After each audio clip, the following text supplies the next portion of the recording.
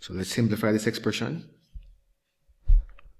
Alright, so 7 times 5, that's 35. So you multiply the like terms, 7 times 5, 35. Multiply each term, 7 times 5, 35. a to the power of 5 times a square.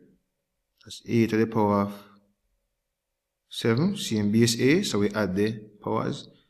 b to the power of 3 times b. This is really b to the power of 1. Alright, so the base is b. Powers 3 and 1, so we add them. So 4. And that's that. Alright, next one. p to the power of 3 times q square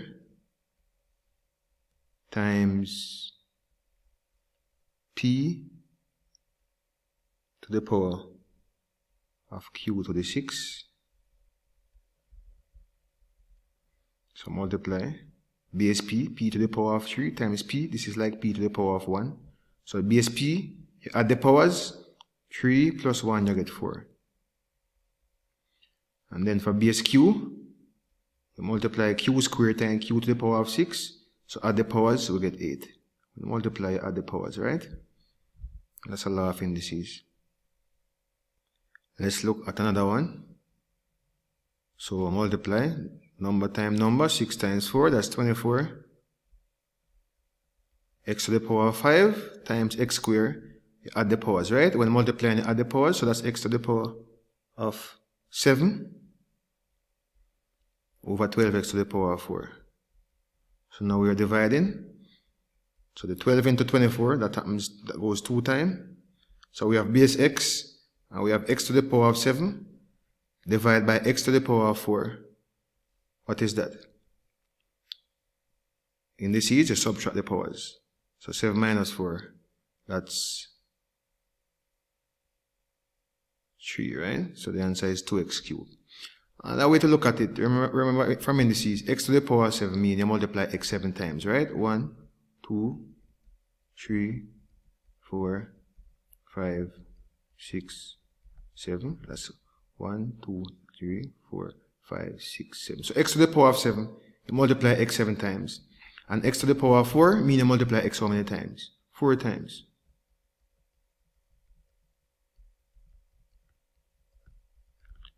Four times. So what happens is that four of these x's divide into four of these x's, leaving you with x times x times x, which is x cubed. But we have a law that says dividing same base, you just subtract the powers. Alright? But that's another way to look at it.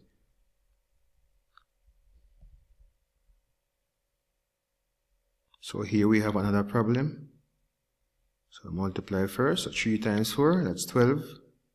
And then x squared times x to the power of 3, base x, and we add the powers, so x to the power of 5, good? Over 2x to the power of 4. So 12 divided by 2, that's what? 6. And x to the power 5 divided by x to the power 4 is what? So in this you're dividing. So base x, you subtract the powers, 5 minus 4.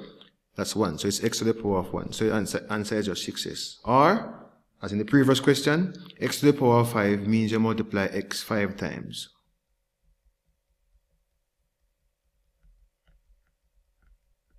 Good? x to the power of 4 means you multiply x four times. Right? So, four of these x's divide into itself, give you 1, and divide into this, give you 1, alright? So what you have is just x over 1, which is just 1x, right? So x to the power 5 over x to the power 4. x. That's that. Here is another problem. 3m over 4p cubed divided by 21m squared over 20p cubed. And this is the reason why I asked you to go and watch the, the, the, the link I have for fractions. And we'll get a better understanding.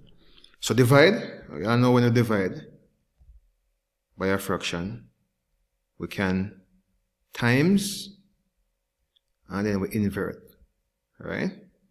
We reciprocate the one on the right hand side. So 20p cubed over 21m squared. And now we can do our multiplication.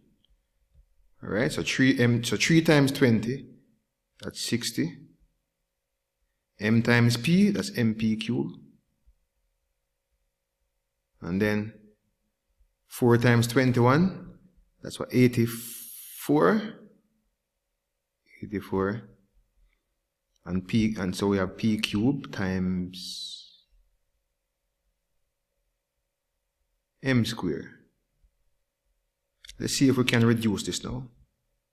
Let me just bring it over here. I'll try and reduce this fraction here.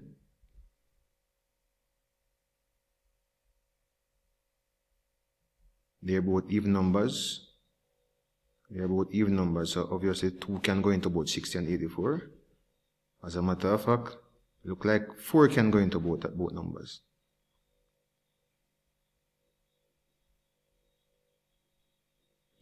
Just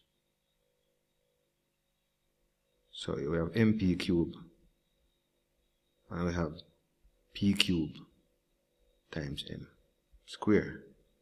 Let's see if we can reduce the numbers first. 60 upon 84, we can divide both of, both of these values by 4. That's 4 into 60.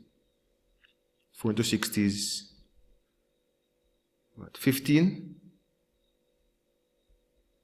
And 4 into 84, that's 21. Now notice with the p. p cube over p cube, that's 1, right? So the p cube will go. Anything over itself is 1. So there, there will be no more, no more p cube. Alright, so p cube. Alright, those are gone. So what we have is m at the top over m square. And then can we reduce even further? We can recognize that both of these numbers are divisible by the number 3. So 3 into 15, that's 5. And 3 into 21, that's 7. Just remember, when you're simplifying a fraction, whatever you divide the numerator by, you need to divide the denominator by the same value. And then m into m, so that's 1. And then we have m squared here, so just so it's 5 over 7m. Because this m will cancel one of the m down here, remember? m squared is m times m. So what you have here, what you have here is really m over m times m. And what will happen here is m into m here goes 1. So we'll only have m in the denominator. So our solution is 5 over 7m.